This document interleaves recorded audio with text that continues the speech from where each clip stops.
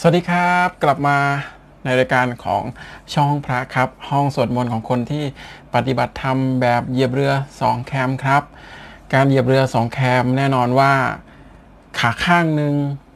มุมหนึ่งหรือมิติด้านหนึ่งก็คือการที่พยายามปฏิบัติอยู่ในศีลในธรรมอยู่ในข้อปฏิบัติ ข้อการปฏิบัติที่ช่วยให้เกิด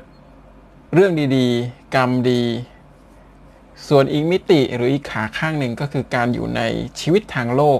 อยู่ในการทำงานอยู่ในบทบาทความเป็นสามีบทบาทความเป็นหัวหน้าเป็นลูกน้องเป็นประชากรของสังคมอะไรก็ว่ากันไปนะครับ ทีนี้ในมิติของด้านการเป็นทางโลกเนี่ยนะครับหนึ่งในปัญหาที่เป็นปัญหาที่มักจะได้รับ การเข้ามาปรึกษาในกล่องข้อความ รวมถึงเป็นปัญหาที่ตัวผมเองหรือตัวหลาย ๆ คนประสบพบเจอนั่นคือเรื่องของการทำงาน วันนี้หัวข้อที่ผมจะมาเล่าให้ฟังในยามดึกในการปล่อยคลิปยามดึกนี้นะครับ ถือเป็นเรื่องเล่าที่น่าจะ เป็นสิ่งที่มนุษย์ออฟฟิศหรือคนทำงานเนี่ย เคยสงสัยเคยมีปัญหาหรือเคยประสบปัญหานี้มาเช่นเดียวกัน นั่นคือเรื่องของความรู้สึกเป็นทุกข์ในการทำงานหรือ suffer รู้สึกเจ็บปวด รู้สึกทนทุกข์ทรมานในการทำงาน และก็รู้สึกว่า ความทุกข์นี้มันมันแย่เหลือเกินและหวังว่าจะมีอะไรมาช่วยได้ และ ก็คิดเสมอว่าในเมื่อการสวดจักรพรรดิมีอานิสงส์มากมาย แล้วการสวดจักรพรรดิและศาสตร์จักรพรรดิจะช่วยเราเผชิญปัญหาหนักหน่วงในเรื่องการทำงานได้บ้างไหม หากปัญหาที่ว่าคือเป็นปัญหาเรื่องคนอยู่แล้วไม่สุขอยู่แล้วเกิดความบาดหมางในสังคมการทำงาน ไม่แฮปปี้ในวัฒนธรรมองค์กรหรืออะไรก็แล้วแต่ คงต้องยกเอาเรื่องเล่าของทางบ้านนะครับ ที่การุณามาแชร์ประสบการณ์ให้ผมฟังในการทำเพจห้องพระใน YouTube ห้องพระนะครับ หนึ่งในเคสที่ผมอยากมาเล่าและขอเป็นกรณีศึกษาว่าศาสตร์จักรพรรดิสามารถนำไปช่วย ผชิญปัญหากับการเจอออฟฟิศที่เป็นมลพิษ การอยู่ในออฟฟิศที่เป็นทุกข์เราจะจัดการยังไง และจะใช้วิธีการสวดจักรพรรดิมาช่วยอย่างไรนะครับ ต้องแยกเป็นประเด็นอย่างนี้ว่า คนคนคนนี้นะครับ ที่เขาเล่าให้ฟังนะครับ พี่ท่านนี้นะครับ ต้องบอกว่าเป็นพี่ท่านนี้ เขาเล่าให้ฟังว่าในช่วงเวลา ปีกว่าๆที่ผ่านมา เขาประสบปัญหา คือเขารู้สึกว่าเขาอยู่แล้ว ต้องเจอปัญหาเรื่องคน เจอปัญหาเรื่องระบบการทำงาน เจอปัญหาเรื่องผู้บังคับบัญชา สิ่งต่างๆ นานาที่เกิดระหว่างนั้นนะครับทำให้เขารู้สึกว่ามันอยู่ยากเขาอยากจะเปลี่ยนงาน ดังนั้นเขาจึงหวังว่าเขาจะสวดมนต์หรือทำอะไรบางอย่างเพื่อให้ได้งานใหม่ โจทย์แรกคือให้ได้งานใหม่ ดังนั้นวิธีการของเขาคือ อย่างที่ผมบอกไปแล้วคือการตั้งสัจจะอธิษฐาน ตั้งสัจจะไปเลยว่าเขาจะสวดจำนวนเท่านี้เป็นเวลาหนึ่งเดือน แล้วหวังว่าหนึ่งเดือนเนี้ยจะได้งานใหม่ ที่เหนือไปกว่านั้นคือพี่ท่านนี้เล่าให้ฟังว่าเขาหางานแล้ว แล้วเขาก็รู้ว่าสิ่งที่เขาอยากไปอยากให้ บริษัทนั้นติดต่อมา ชื่อบริษัทอะไรอยู่ตรงไหน เขาก็ใช้วิธีการแผ่ให้กับตึกทำงานนั้น แผ่ให้กับองค์กรนั้น โดยการแผ่ให้กับภพภูมิหรือเทวดาที่อยู่ตรงนั้น แล้วก็บอกเทวดาว่า ให้ช่วยดลจิตดลใจ เอาเขาไปทำงานหน่อย เขาจะได้ทำบุญทำกุศลได้สวดมนต์แล้วก็ขอหลวงปู่หลวงตาเนี่ยช่วยดลบันดาลทำ ยังไงก็ได้ให้เขาได้หลุดพ้นจากองค์กรตรงนี้หน่อยเพราะรู้สึกเป็นทุกข์เหลือเกิน รู้สึกว่าชีวิตตอนนี้มันเป็นปัญหาอยากจะพ้นจากปัญหาหลวงปู่หลวงตา และพลังจักรพรรดิกระแสจักรพรรดิช่วยเขาหน่อย เขาก็ทำเพียรไปอย่างนั้น สิ่งที่เขาเล่าบอกก็คือ เขาไม่ได้งานใหม่ครับ จากการสวดจักรพรรดิเขาไม่ได้งานใหม่อย่างที่หวัง แต่ เขาได้หนทางใหม่ ได้วิธีการใหม่ และได้ความรู้สึกใหม่ ๆ ที่เกิดขึ้น คือ จากที่เขาขอหรือหวังที่จะได้งานใหม่ กลายเป็นเขาสามารถอยู่ในความกดดันอยู่ในสภาพแวดล้อมนั้นได้ด้วยการปรับเปลี่ยนคือ จากที่เขาเลือกที่จะแผ่ไปข้างนอกให้กับภพภูมิต่างๆ อะไรต่างๆ เขาเปลี่ยนใหม่ โดยการที่แผ่ให้กับภพภูมิที่เกี่ยวข้องเกี่ยวพันกับออฟฟิศตึกอาคารสำนักงงาน บริเวณนั้นรวมถึงภพภูมิที่เกี่ยวข้องเกี่ยวพันกับผู้บังคับบัญชา ผู้ใต้บังคับบัญชา แผ่ให้กับเพื่อนร่วมงาน แผ่ให้กับทุกคนที่เขาคิดว่าเขารู้สึกเป็นทุกข์รู้สึก suffer ด้วย คนนี้ ทำให้เกิดเจ็บความเจ็บปวด คนนี้เขาพูดไม่ดี คนนี้เขา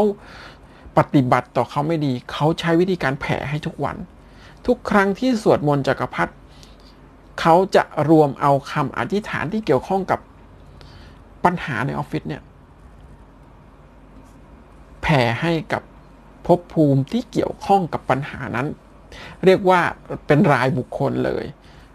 คนนี้ใช่ไหมที่รู้สึกว่า เขาทำไมเขาใจร้ายจังก็แพ้ให้ไป คนนี้ใช่ไหมที่ทำไมขัดแข้งขัดขาจังก็แพ้ให้ไปสำคัญคือใช้กำลังของครูบาอาจารย์กำลังของสิ่งศักดิ์สิทธิ์ที่สูงสุดคือพระพุทธเจ้า พระจักรพรรดิพระโพธิสัตว์ เทวดาทั้งหลาย แล้วก็รวมมาที่เราแล้วแผ่ไปตรงนั้น แล้วก็ใช้ศาสตร์ หรือใช้ทริคที่หลวงตาท่านบอกนะครับ มีอะไรก็ให้ฟ้องหลวงตา มีอะไรก็พูดกับหลวงตา คุยกับกับหลวงปู่ดูนี่แหละว่า ผมนี่มีปัญหาอย่างนี้ พี่ธนีบอกนะครับ จริงๆ พี่ธนีบอกว่าก็คุยอย่างนี้เลยว่า มีปัญหาแบบนี้หลวงปู่หลวงตาช่วยเคลียร์ให้หน่อย ช่วยทำให้ปัญหามันเบาบางให้หน่อย หากมันไม่เกินกว่ากรรมจริง ๆ ขอให้สามารถ อยู่ได้หรือสามารถทำให้ผ่านพ้นปัญหาได้ ถ้าหลวงปู่คิดว่าไปอยู่ที่อื่นได้ดีกว่าก็ไป แต่ถ้ายังอยู่ได้ก็ขอให้ทุกอย่างมันผ่านพ้นทำให้เรารู้สึกดีรู้สึกมีกำลังใจ สิ่งที่เกิดขึ้นหลังจากที่เปลี่ยนจากแผลข้างนอก กลับมาแผลให้องค์กรข้างใน มันเกิดสิ่งที่เรียกว่าเป็นจุดสำคัญคือโควิดได้แพร่ระบาดครั้งใหญ่ กลายเป็นว่าองค์กรที่เขาอยากจะไปมีปัญหา องค์กรที่อยู่ก็มีปัญหา แต่เขาไม่ไม่ประสบชะตากรรมที่คนโชคร้ายต้องเผชิญ พูดง่ายๆ คือเขารอดจากการที่จากการเลิกออฟโรงงาน จากการเลิกออฟคน จากการที่ต้องถูก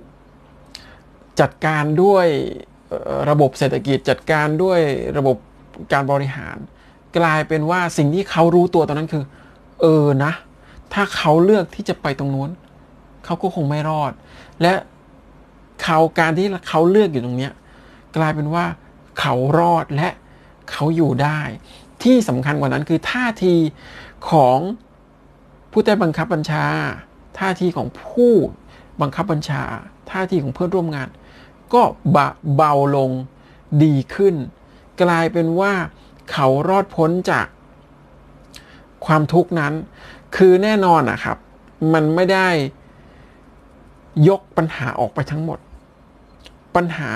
มันยังคงอยู่ แต่ผมวิเคราะห์จากการรับฟังนะครับ แน่นอนเราเชื่อในพุทธคุณ แน่นอนเราเชื่อในศาสตร์ของหลวงปู่หลวงตา เราเชื่อในเรื่องของการแผ่ หลวงปู่หลวงตาท่านบอกเสมอว่าแพ้ให้กับภพภูมิที่เกี่ยวข้องกับ คนที่เราอยากจะอยากให้เขาเอ็นดู อยากให้เขาเข้าใจ อยากให้เขาเจรจา มีความเมตตาต่อเราทำได้ด้วยการแผ่ แต่ประเด็นที่ผมว่าสำคัญไม่ไม่น้อยไปกว่าการแผ่คือ การที่เราปฏิบัติในศาสตร์จักรพรรดิคือการทรงอารมณ์ดีๆ เป็นคนที่ทรงพรหมวิหาร คือนิ่งนิ่งเมตตากรุณามุตตาเบียขาคืออันนี้มันเป็นหลักการที่ต้องปฏิบัติควบคู่กับการสวดมนต์จักรพรรดิอยู่แล้ว และหลักการปฏิบัติแบบนี้นะครับทำบ่อยๆ คือมันกลายเป็นการที่เราเนี่ยมอบความเมตตาให้กับคนอื่น เราเป็นคนน่ารักสำหรับคนอื่น และเราก็น่ารักสำหรับตัวเอง เราจะเผชิญกับ ปัญหาเผชิญกับสิ่งที่มันใจร้ายกับเราได้เก่งขึ้น คือเราจะ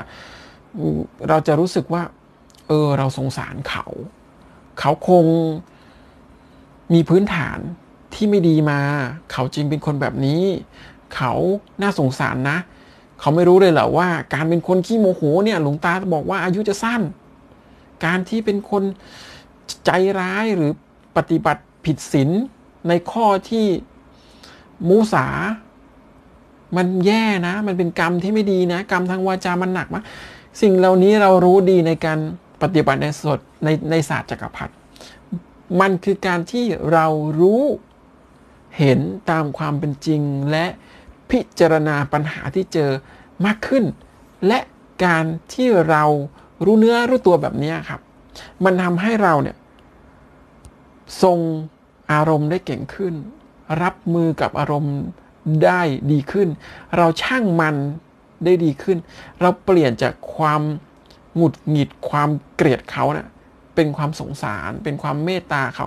เป็นความที่อยากให้เขาพ้นจากความรู้สึกนั้น พ้นยังไงก็แผ่ให้เขาทุกวันนะครับ เราเราปรารถนาให้เขามีความสุข เราปรารถนาให้เขาพ้นทุกข์ก็แผ่บุญให้เขา เรารู้สึกยินดี ใครจะได้ดียังไงเราก็ยินดี ใครจะมีความสุขยังไงเราก็พลอยยินดี และสุดท้ายเราก็ทรง